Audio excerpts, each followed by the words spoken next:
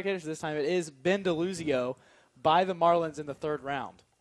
So Ben DeLuzio, the highest drafted major league player on the Florida State current roster, as Adam Haseley rips that one out to right field, and That's you gone. can forget about that one. The right fielder stops dead in his tracks, and Adam Haseley blasts that one over the 315 mark in right field. That one had to be, you'd think, at least 350 feet, as that one was dead out of here. That is a two run home run to extend the first Academy lead to 5 2. And Connor, he just jumped on that pitch right there.